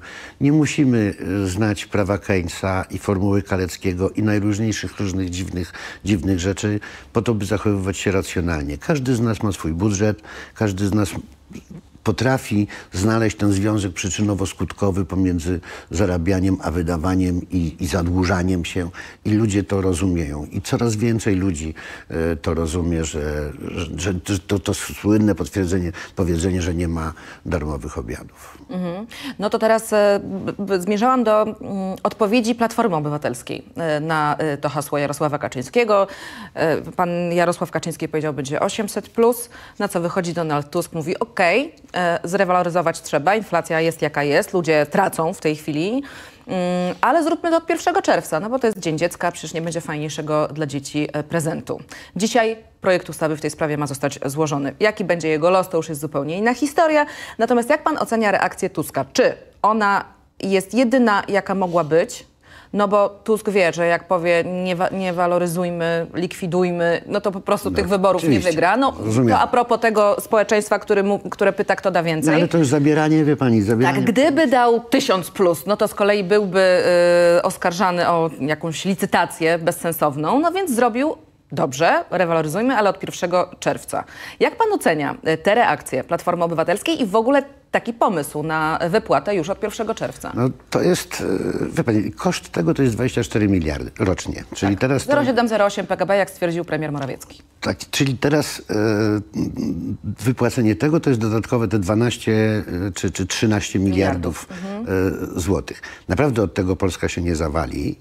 E, Czy, się wypłaci od 1 stycznia przyszłego roku, czy od tego roku. Ja to poczytuję jako, jako zagranie polityczne, e, takie no szachmat, takie trochę okej, to dlaczego odkładacie? Skoro tak, no to zróbmy już teraz. No i w tej chwili myślę, że e, w- sztabowcy PiSu tam e, bardzo gorąco dyskutują i, i, i grzeją się e, umysły, e, co zrobić. No bo tutaj to takie, taki no trochę szachmat był. Wydają, że za Platformy nie było 500, plus, że Donald Nie, nie, ale jest jest niewiarygodny, że nie było polityki socjalnej, a teraz no nie można, no bo ta inflacja, no. No to te, teraz jest, teraz Ona jest, jeszcze nie spada. Tak szybko, żeby można to było wprowadzić od czerwca. Na pewno jak będzie spadać wolniej od stycznia, już po wyborach, to wtedy wprowadzimy. No, wie pani, no, matem, matematyka nie jest najmocniejszą stroną e, rządzących, ekonomia również, wszystko jest pod, podporządkowane polityce.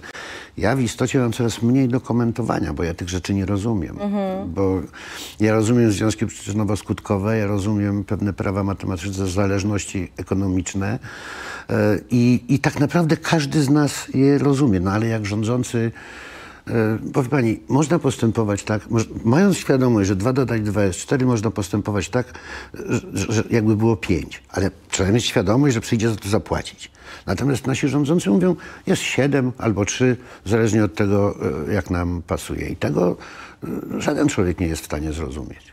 No dobrze, to teraz jeszcze te pozostałe propozycje. Darmowe leki, darmowe autostrady. Może przy autostradach, bo e, o lekach trochę ja już dzisiaj rozmawiałam z moim poprzednim gościem, ale o autostradach mało.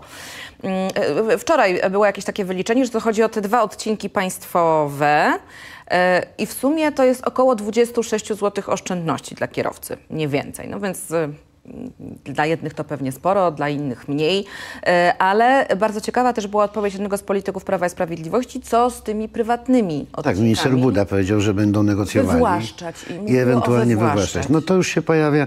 Znaczy, to, że to jest grupa rekonstrukcyjna PRL-u, to już wiemy. Bo to naprawdę to, to, to już nie, nie tylko poprzez te rekonstrukcje bitew i tego wszystkiego innego, tylko no to coraz więcej się układa. No, minister Czarn, ministrowi Czarnkowi się wymknęło, że prawda, e, ko- komunizm, czy ten panujący u nas ustrzegł nas przed zgnilizną Zachodu, no czyli krótko mówiąc było, było ok i wiele tych przedsięwzięć, no jest to grupa rekonstrukcyjna PRL. I widocznie wracamy już do takich metod, czyli, czyli właśnie znowu z, zmniejsza się pole dla ekonomisty, e, człowieka, który myśli e, procesami ekonomicznymi i matematycznymi, a zwiększa się pole dla no, nieograniczonego populizmu. I, I właśnie tutaj oczywiście nikt nikomu niczego nie będzie wywłaszczał, bo przed każdym sądem jesteśmy częścią cywilizowanego świata e, i przed każdym sądem państwo przegra i będzie płaciło niewyobrażalne jakieś odszkodowania.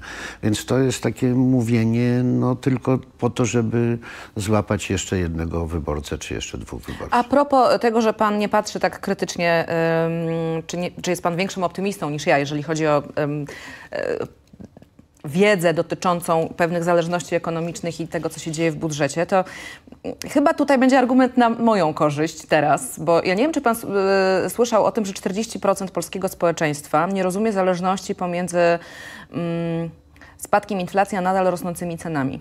No tak, E, bo, bo myślą, że jak spada inflacja, to spadają To ceny. znaczy, że spadają E, ceny. Panie redaktorze, wykorzystując e, niechybnie Pana obecność, chciałabym, żeby Pan wytłumaczył, bo my mamy widzów no, wybitnie mądrych i inteligentnych akurat, natomiast być może jakaś jedna owieczka się zaplątała, która nie rozumie tej zależności. Więc gdyby Pan mógł wytłumaczyć, że spadająca inflacja oznacza nadal rosnące ceny. E, Spadająca inflacja oznacza nadal rosnące ceny, tylko odrobinę wolniej. E, Jako, że e, to jest kwestia bazy. No jeżeli w ubiegłym roku, dwa lata temu ceny nam nie rosły, czy rosły bardzo, bardzo wolno i później wybuchły, warto obserwować miesięczny ruch cen. Jeżeli on będzie ujemny, to znaczy, że ceny zaczynają spadać. Natomiast jest, dopóki on jest dodatni, a on jest na poziomie 0,7, 0,8 miesięcznie, to znaczy, że ceny rosną.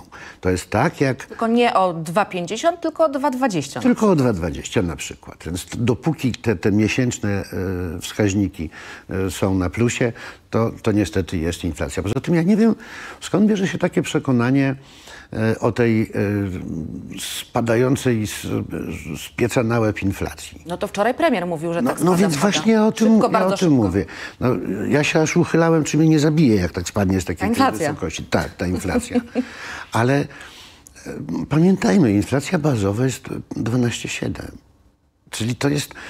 Już odrzucamy tę całą putinflację, tę całą narrację, co taka propos wisi na tym, Na Narodowym. Banku, na, na tym Narodowym Banku Polskim. To jest ewidentnym kłamstwem. Czyli to już, wie pani, no, można, można posługiwać się specyficznymi interpretacjami, e, ale faktów nie zmieniajmy. Natomiast tutaj wszystko już e, no, dawno udowodniono, że to nie była żadna Putin-inflacja i nie jest Putin-inflacja i nie, nie, nie wojna i nie pandemia, tylko nasza radosna twórczość rządu i, i Narodowego Banku Polskiego, a tam się to upowszechnia.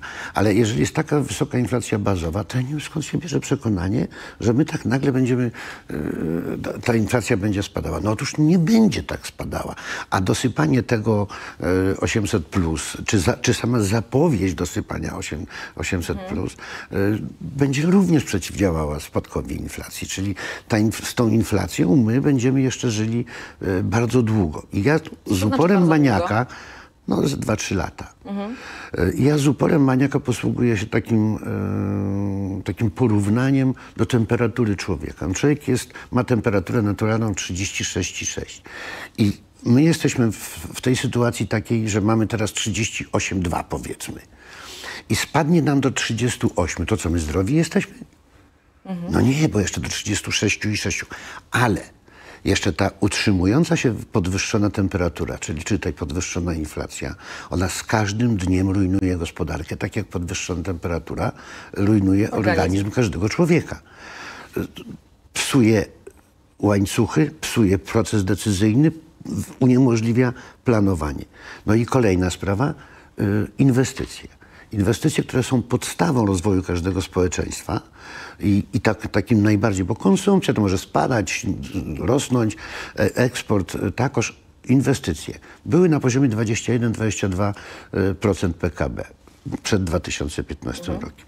Miały wzrosnąć do 25 w ciągu dwóch, trzech lat, tak jak zapowiadał premier Morawiecki. Tymczasem spadły do 16. Czyli my nie budujemy przyszłości. I to i tak samo tak inwestycje prywatne, jak i publiczne. No publiczne to nie, nie sprzyja brak pieniędzy z Unii Europejskiej, ten KPO i, i trudności w pozyskaniu innych funduszy a prywatne, no kto będzie przy tych stopach procentowych, przy tym obciążeniu, tym koszcie kredytu y, robił bardzo duże inwestycje? Tylko ktoś, kto finansuje się na Zachodzie, w związku z tym to nieco lepiej jest z inwestycjami y, zagranicznymi, jako że on nie korzysta z pieniądza y, na naszym rynku, drogiego pieniądza. Dobrze, to, to tę zależność mamy wyjaśnioną. To jeszcze następna sprawa. Dlaczego mówi się o tym, że 800 plus, e, plus zwiększy inflację? Premier mówi, to nieprawda. To już dzisiaj e, wspominaliśmy o tym. Przypomnę ten cytat. Nie dojdzie do dodatkowego niebezpiecznego impulsu e, inflacyjnego. Mm, e, Podwyższenie programu 500 do 800 to koszt 24 miliardy, 0,708 PKB i w związku z tym nie spowoduje to zwiększenia inflacji, twierdzi premier. Eksperci twierdzą co? Co innego, jak rozumiem. Ale premier nie jest ekonomistą. Jakiś podobno kurs ukończył, a tak to jest e, z tego co wiem historykiem. I gdyby był łaskaw uzasadnić to, dlaczego to nie wpłynie, bo, e, bo można mówić właśnie, bo premier wychodzi i mówi, proszę państwa, dwa dodać dwa jest trzy. Kiedy my wiemy, że jest cztery. No, mówię, gdyby powiedział, okej, dodajemy, ponieważ chcemy wygrać wybory mamy świetne pomysły i chcemy dalej e, e, kierować krajem i tutaj mamy świadomość, że to może wpłynąć na zwiększenie inflacji, ale będziemy temu przeciwdziałali w taki czy inny sposób, szacunek.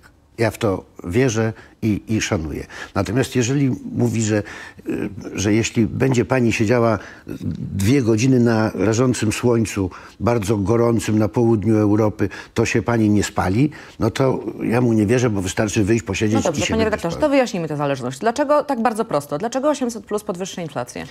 Walka z inflacją to jest straszna rzecz. To jest e, Bolesna dla nas. bolesne dla każdego, ponieważ my musimy najzwyczajniej w świecie zbiednieć. Czyli każdy z nas musi zacząć mniej kupować i to przeciwdziała dopiero, wtedy dopiero zaczyna spadać inflacja. Może nie zbiednieć, tylko inaczej wydawać pieniądze. Albo wydawać ich mniej po prostu, właśnie z myślą o tym, że tak trzeba zrobić. Albo wydawać mniej, to wtedy właśnie powinien się włączyć Narodowy Bank Polski z jakimiś obligacjami, tak, tak. etc., etc. Z kampanią informacyjną. Ale tego nie ma. Mhm. Tego nie ma, tylko jest, mówimy, hulej dusza, piekła nie ma. To nam ciągle powtarza e, pan e, Czes Glapiński. Więc jeżeli mamy kupować mniej, czyli mniej pieniędzy wrzucać na rynek, wiadomo, że e, tak emerytury, jak i e, te, te, beneficjenci 500 plus większość pieniędzy tego dochodu rozporządzalnego natychmiast niosą do sklepu. Tak jak to się mówi, że emerytura to jest niewielka kwota pieniędzy y, przeznaczona dla apteki, przekazana tam za pośrednictwem emeryta. Tak do końca nie jest, ale, ale, ale odrobinkę tak. Czyli to są te pieniądze natychmiast wydawane y, w sklepach. No to one zwiększają popyt. Żeby walczyć z inflacją, musi się ograniczyć popyt na, na skutek a to inwestycji, tego co pani mówi, tych obligacji, czy tego, że zbiedniejemy, no dochód rozporządzalny nam spada, w związku z tym to się dzieje. A tutaj ten popyt się wzmacnia. No to w oczywisty sposób to wzmacnia inflację. I nie można sobie wyobrazić nawet modelu, w którym było to, byłoby to inaczej. E, Czy e, sądzi pan, panie redaktorze, że mm, te wszystkie propozycje, e, które padają z ust polityków, przede wszystkim PiS, ale nie tylko, dlatego że każdy ma ten taki program bardzo mocno socjalny w tej chwili rozbudowany, no bo mieć musi, e, prawdopodobnie, żeby w ogóle myśleć o zwycięstwie e, wyborczym. Czy to spowoduje, że e, ludzie, do których te wszystkie programy nie są kierowane, czyli na przykład bezdzietni 30-40-latkowie, będą to wszystko utrzymywać i na to pracować? No bo de facto ktoś będzie musiał płacić prawdopodobnie wyższe podatki, pracować więcej. Znaczy, y, to jest bolesne, ale taka jest prawda. Znaczy, że na te wszystkie programy będą musieli składać się ludzie, którzy z nich na przykład nie korzystają w żadnym stopniu. Bo nie mają ani poniżej 18, ani powyżej 65, ani nie są emerytami, ani nie mają dzieci. Ależ to jest oczywiste. No, powiedzmy o autostradach. E, darmowe autostrady. Czyli krótko mówiąc, za te autostrady tym, którzy e, mają prawo, czy są właścicielami tych autostrad, zapłaci państwo. No to będzie turysta jechał wypasionym, niemiecki turysta będzie jechał wypasionym Mercedesem i nie będzie płacił za autostradę, bo zapłaci za to nauczycielka, która nie ma samochodu. No bo w oczywisty sposób z podatków, które e, ona będzie wpłacała, emeryt, wszystko jedno, ktokolwiek, kto płaci podatki, część zapłaci on, czyli ten bogaty turysta Mercedesem nie zapłaci, ale zapłaci za to ten, który płaci podatki. I dlaczego ja mówię, że my nie budujemy e, społeczeństwa dobrobytu? Ponieważ jest znowu ta socjalistyczna, bolszewicka e, narracja, że e, państwo koncentruje się wyłącznie na dzieleniu, na, na dzieleniu biedy a nie, nie koncentruje się właśnie o tym, co wspominałem, że te e, inwestycje na poziomie 16%. My budujmy wartość dodaną, budujmy, e, zwiększajmy swój, swoją produktywność. Nie chcę powiedzieć wydajność, bo nie chodzi o to, żeby szybciej biegać taczkami, tylko żeby taczki zastąpić na przykład koparką. Czyli budujmy produktywność naszej gospodarki, nowoczesność naszej gospodarki poprzez inwestycje. To będzie ten, będziemy ten dochód rozporządzalny ogólnie zwiększali, a nie państwo koncentruje się wyłącznie na tej części dzielenia tego, tego co ma do dyspozycji. Panie redaktorze, ostatnio mm, ktoś bardzo trafnie zauważył, że no, też zaczęliśmy trochę jako społeczeństwo, nie wszyscy rzecz jasna, ale mm, spora jego część, e, myśleć wyłącznie o tym, co tu i teraz. Nikt nie myśli o tym, co z naszymi dziećmi i co z naszymi y, wnukami. Ja na przykład staram się mm, zastanawiać nad tym, ile, ile moja córka będzie miała do spłaty w rozmaitych podatkach, wysokości ZUS-u y, i tak dalej za tych kilkanaście lat. Czy rzeczywiście y, y, Pana zdaniem jest tak, że nikt w tym momencie, także z polityków, y, nie myśli o tym, co z następnymi pokoleniami? My, my to myślimy, tak jak pani właśnie myśli o swojej córce, e, ja o swoim synu i każdy z nas e, myśli o przyszłości naszego dziecka, natomiast politycy zachowują się tak, jakby po nas tylko pot, choćby Potop. potop. E, No to właśnie to, to dzisiaj też e, czytałem e, minister Sus, poseł Suski, no, jeden z ulubionych posłów chyba wszystkich nas, e, mówi dlaczego mm, te autostrady mają być darmowe i dlaczego teraz? No mówi, bo, bo wybory nadchodzą. Czyli krótko mówiąc, dla wyniku wyborczego, tego bieżącej, bieżącej, e, bieżącej korzyści, e, politycy są w stanie zrobić e, wszystko. Ale bo trafiają na podatny grunt. Słucham? Trafiają na podatny grunt.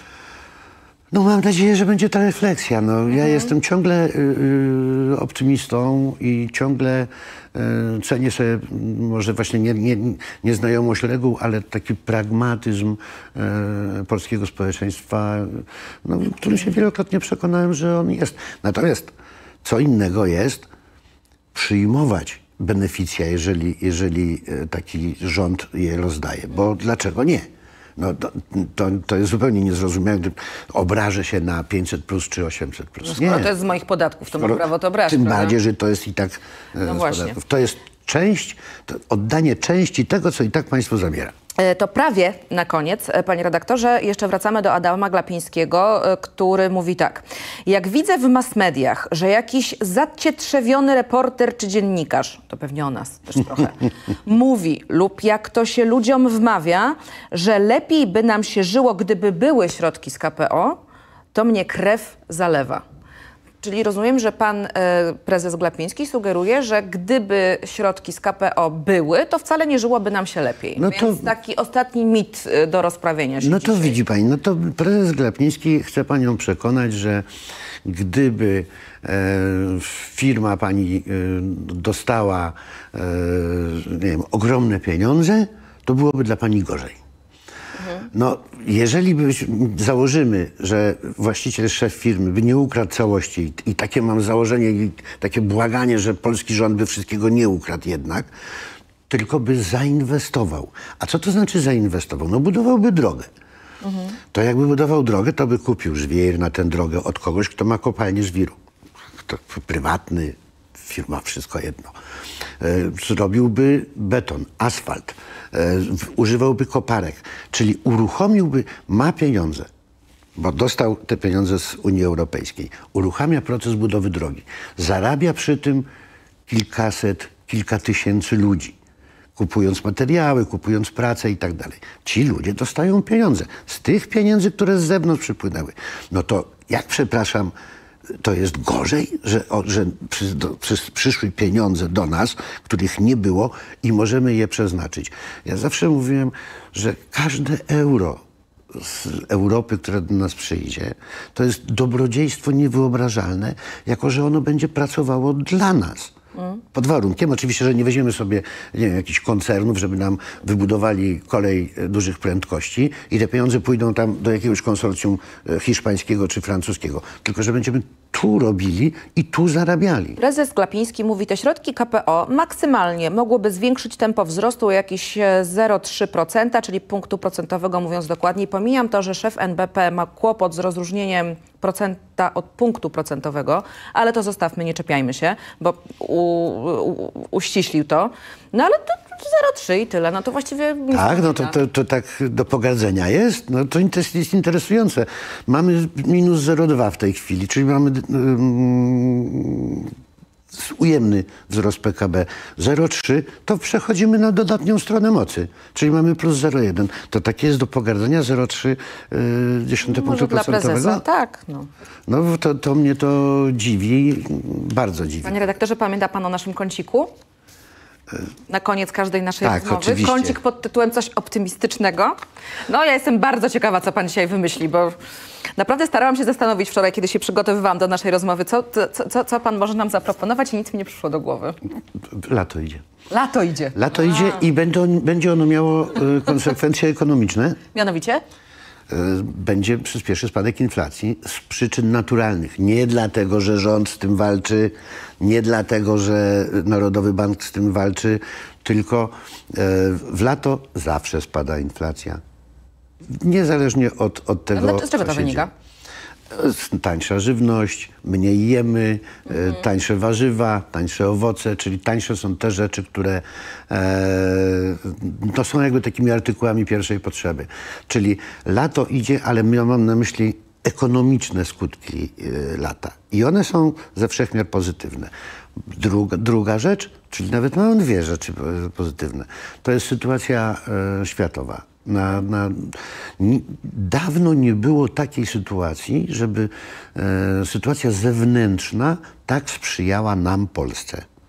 Z różnych powodów. Polityka